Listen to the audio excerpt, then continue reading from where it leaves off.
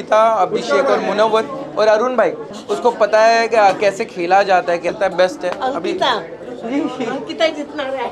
मैं तो जिसको देखना चाहता हूँ वो तो जीतेगा नहीं। अंकिता मुनव्वर अभिषेक ये लोग बन गए यार। ये जो होता है वोटिंग है सच में वोटिंग होते हैं कलर्स वाला जिसको फ़ायदा उसी को जिता देता है। मुझे नहीं लगता है कि गली गली में जाके उसने पैसे दिए होंगे। चलो क्वेश्चन फटाफट। आज के वोट के बाद मैं चले जाओ अंदर पहले ले लूँ तो मैं दादा कह पाऊँ बिग बॉस को लेकर बहुत क्रेज चल रहा है आप किसको सपोर्ट करेंगे? मैं बिग बॉस को सपोर्ट कर रहा हूँ। जिन्होंने मुझे बनाया बट मेरे तीन चार जो फेवरेट है वो है अंकिता अभिषेक और मुनव्वर और अरुण भाई। अभी इसमें मेरे फेवरेट है वो गेम कौन जीतेगा उससे अच्छा होता है कि सबसे ज़्यादा पसंद कौन आया? मुझे चार लोग ज़्यादा पसंद है। मुनव्वर फारूक की बहुत चर्चा में है। वो आपको लगता है कि जानबूझ के सब करते हैं कि लोगों का वाकई में सपोर्ट भी और उनको लेकर जो कंट्रोवर्सीज दिन ब दिन खुलते जा रही है, क्या कहेंगे इसके बारे में? यार सपोर्ट तो कर रहे क्योंकि वो एज अ प्लेयर अच्छा है। एज अ प्लेयर अगर आप मुनवर को देखोगे तो उसने लॉकअप किया हुआ है पहले। उसको पता है कि कैसे खेला जाता है, कैसे पर्सनैलिटी दिखाई जाती है। मुझे लगता है उसको एक्सपीरियंस भी है। बट मेरे को लगता है ऑल ओवर गेम वो तो मंजा हुआ खिलाड़ी बट ऑल ओवर जो गेम पूरा बिग बॉस जिन्होंने मज़ेदार बनाया, वो ये चार लोग हैं। एक अरुण भाई जो नेचुरल है, बहुत दिल वाला बंदा है। अंकिता और अभिषेक। तो ये चार लोग मुझे लगता है बेस्ट है। अभी अंकिता।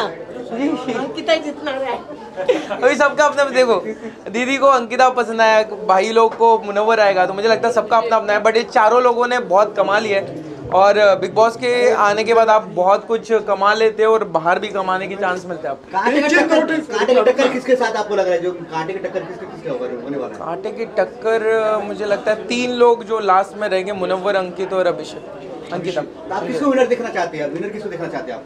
मैं तो जिसको देखना चाहता हूँ वो तो जीतेगा नहीं ऐसे होता है। मैं नहीं बताऊँगा।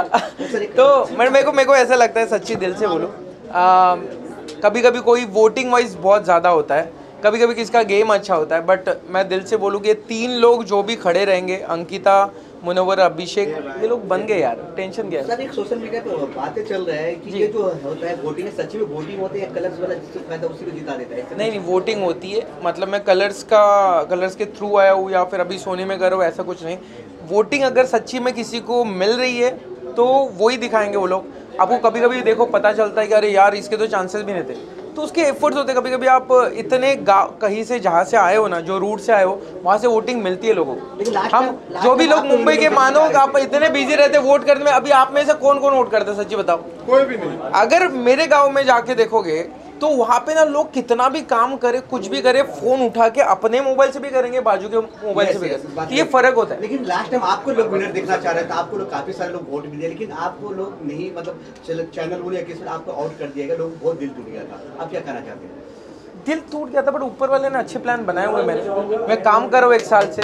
और एक साल से आप काम कर रहे हो टीवी पे जो जितना एक्सपेक्ट करे उससे ज़्यादा ऊपर वाले ने पैसा दिया है। और क्या चाहिए? अच्छे अच्छे कपड़े पहन रहे हो आप लोगों के सामने हो खा रहा हो पी रहा हो गाड़ी में घूम रहा हो और क्या चाहिए? मेरी तरफ़ से एक आखिरी सवाल है हमने सर्वे किया तो जो मुनव्वर की फ़ैन फॉलोइंग है कई लोगों ने पर्सनल होर्डिंग्स लगाई है कि इनको वोट कीजिए। आपको लगता है प्लांटेड है कि वाकई में दर्शकों का प्यार है उनके फैंस का प्यार है?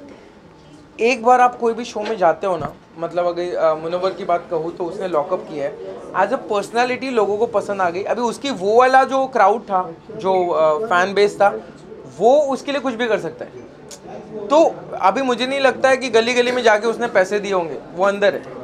तो वो उसका फ़ैन बेस ही है। और मैंने देखा है कि लोग पागलों की तरह होता है। मेरे बर्थडे के दिन या फिर बिग बॉस के जितने कंटेस्टेंट में देखा, सब फैंस खाना बांटना चालू कर देते तो मुझे लगता है वो होता है मतलब जो दिख रहा है वही है।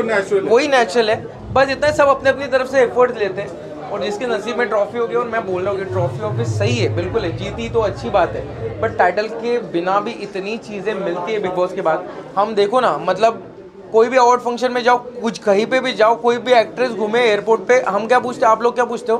अरे वो बिग बॉस वो तीन नाम अगर पता चल रहे पूरे इंडिया में तो यार जीत लिया ना तीनों ने। Thank you thank you